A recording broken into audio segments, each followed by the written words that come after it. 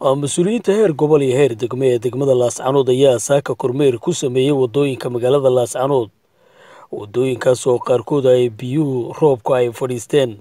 Mas'uuliyiintan ayaa xaafad xaafad u tegay xaafadaha magaalada laascanood kuwaasoo ka hadlay siday wax uga qaban lahaayeen.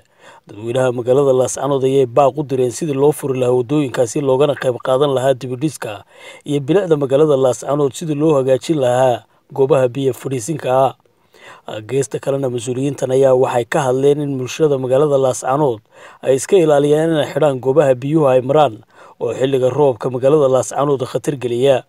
Ugoreelkaasi waxaa ka hadlay xogayaha dowladda hoose ee degmada laascanood isagoona ku dheeraaday shaqadaasi. Geesta kale waxaa isaguna halkaasi ka hadlay maayirka degmada laascanood oo tilmaamay inay bulshadu qayb weyn ka qaataan sidii wadooyinkaasi loo hagaajin lahaa.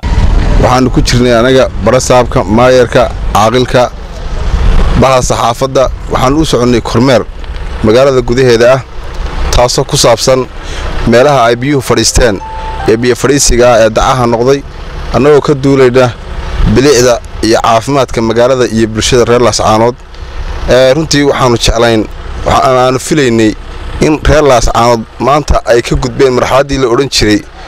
War halkan maxay tahay? Iyo halkan wax lagaaga qabto. Oo ay maanta ay u gudbeen marxalad ah inay iyagu intay yimaadaan oo maamulka u yimaadaan ay yidhaahdaan. War waxaan dhibaatadana halkan ka jirta. Waxaan u baahannahay in wax nalagala qabto. Waxaanaanu u qorsheenna ugu talagallay wixii awoodaya karaama. Intaas annaga naga noqotay inta kalena maamulku ama dawladdu ha ku darto. Runtii weli maanan arag. Waxaa islaa dee waa la bislaayo maanta la baray sida wax loo wada qabsado. In badan baa lagu celcelinayay. Waraan wax wada qabsanno. Cidna yaanan sugin. Innagu aan isku tashanno. Innagu aan jeebabkeenna furno wixii inaga dhimanna cidda aynu kala maarin weyno aynu ugu yeedhanno.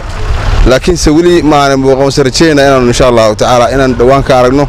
Yaa qaabka ama siday wax u yaalliin biyaha magaalada marka roobku daan ay u fadhiistaan iyo sidii xal looga gaadhi lahaa. Haddii annagu aanu dadweynaha nahay ama waxaan jecelnahay in hawsha tan wax laga qabto loogana dambeeyo maamulka. Waxaan kormeer ku soo marnay magaalada laascaanood oo meelaha biyo fadhiisinkaa kormeerkii baan ku soo kaala bixinay. Aan soo indhaindhaynayno xaaladda meelahaas ku sugan yihiin. Kolley haddaanu doo doonsannahay inaan wax ka qabannaan rajaynaynaa insha allah dadweynaha xaafadaha degganna dee waxaa laga doonayaa saamigay kaga qayb qaadan lahaayeen. Horena sanad ka hor baan halkan shaqo ka qabannay. Adigoo sanadii bar meelaha ka hor shaqadu waa gacan ku hayn dadweynaha reer laascaanood ee xaafadaha degganna waxaa looga baahan yahay inay doorkooda ka qaataan iyana oo muxuu ahaa qaybtooda. Hadday xitaa wax kala waayeen xoog way kaga shaqayn karaan. Xooggii bay hayaan muruqii way kaga shaqayn karaan. Marka waxaan leeyahay adduunkii wuxuu gaadhay isku tashi reer laascaanood haddayna waxaan iskaga barannay. Gabagabadii waxaa ka hadlay sidii wadooyinkani wax looga qaban lahaa iyo bilicda magaalada laascanood gudoomiyaha gobolka sool oo tilmaamay muhiimad gaar inay u leedahay sidii loo horumarin lahaa. Waxaan isugu nimid waa waa dan. Soomaaliya xitaa dan waa seeteen. Wadooyinka laascanood waa meelaha ugu halbowleysan ee bulshada socodkeeda iyo dhaqaalaheeda iyo nidaamkeeda ka qayb qaadata waxaan u dee madax meel ka sareyso la salaaxa ma jire. Dowladdii wataa saaka shacabkii oo idiin dhan tahay. Dantiina unbaa laga shaqaynayaa. Inaad dowladda hoosena la shaqaysaan waddooyinka ilaalisaan nidaamkao dhan runtii wadooyinkaas wax ka qabasha u baahan yihiin deg dega in lagu sameeyo. Marka isku tashigaas iyo in wax la wada qabsado.